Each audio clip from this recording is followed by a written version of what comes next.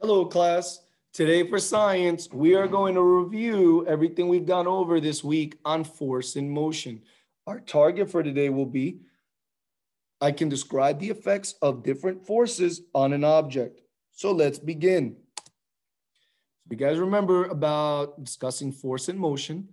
We have force. A force is a push or pull that acts on an object. When you kick or throw a ball, you push it to make it move. When you catch a ball, you move against it to stop its motion. Even if you don't move your hands forward, you use pull forces too. When you zip up a sweater, you pull the zipper. You pull on a baseball bat to lift it off the ground. Forces like these are all around you. So forces can change the way objects move. When an object begins to move, it is because a force has acted on it. When an object is already moving, forces can make it speed up, slow down, or change direction. You may not always see what is applying the force, but you can see the effects of the force. Think about a kite. By pulling on the string, you keep the kite from blowing away. You can see yourself applying this force. Then suddenly the kite twists and turns in the wind. The force of moving air or wind pushes the kite in different directions. You can't see the wind, but you certainly can see the effects of its force. Forces are interactions between objects. Forces can make an object speed up, slow down, change direction, or change its shape. A push is the force that moves an object away from something, like when you push a plate away. A pull is the force of bringing an object closer.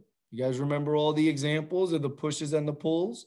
We got a push, a pull, a pull, and a push. And then Patrick is doing both. Then we have friction. Friction is the resistance of motion when an object rubs against another. Anytime two objects rub up, uh, rub against each other, they cause friction. Friction works against the motion and acts in the opposite direction. When one object is sliding on another, it starts to slow down due to friction. This means it loses energy. However, the energy doesn't disappear. It changes from moving energy, which is also known as kinetic, to energy to heat energy. This is why we rub our, uh, when we rub our hands when it's cold. By rubbing them together, we generate friction and therefore it creates heat. Then these are examples of friction. We got the car burning out. We got the drill making the hole. We got the little piggy rubbing up against the wall. And then we have the geese or the ducks sliding down the slide. Now the slide doesn't have much friction. That's why the duck is able to slide down so smoothly. Look at it go. Then we have gravity.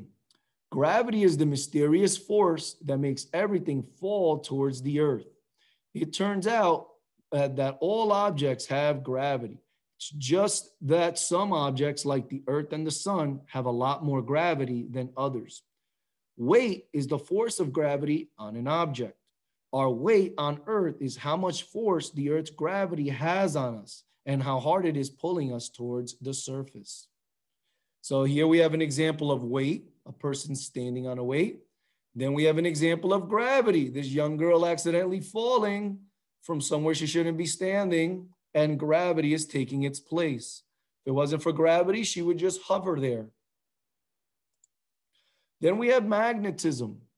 Magnetism is a force that can attract or pull closer or repel, which means push away, objects that have a magnetic material like iron inside of them. In other words, magnetic objects. In simpler words, it is a property of certain substances which pull closer or repel other objects. All right, guys, so I'm going to put on a video here for you guys to watch. Um, after the video, I'd like you guys to complete the review test. I hope you guys enjoy the video.